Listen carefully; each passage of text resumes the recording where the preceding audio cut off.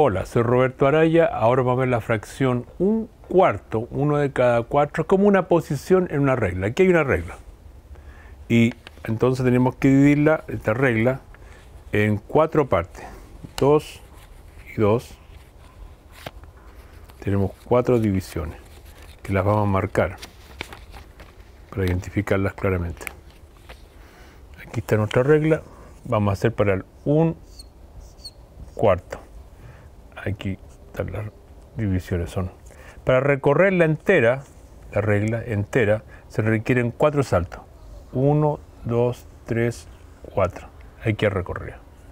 Pero nosotros vamos a ir a la posición de solamente hacer un salto. O sea, hasta aquí. Hasta ahí.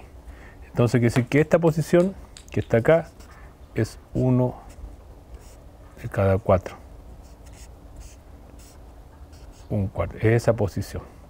Entonces, uno de cada cuatro o un cuarto es la posición cuando, cuando hacemos solamente un salto y son saltos tales que para recorrerla entera se requerían cuatro saltos y tomamos solamente uno.